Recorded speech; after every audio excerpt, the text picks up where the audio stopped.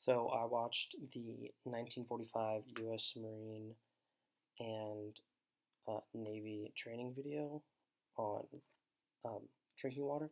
And so I thought I brought up a lot of good points on how one person can hurt a whole unit by using up too many resources, and how drinking water from um, just certain streams could give you diseases, infect infections, and harm the body. So I felt like this video was really good with doing that. I also felt like it was a little outdated because it was from 1945, and people have become a lot more smarter, a lot more smart and aware of what they're doing and where they get their drinking water from.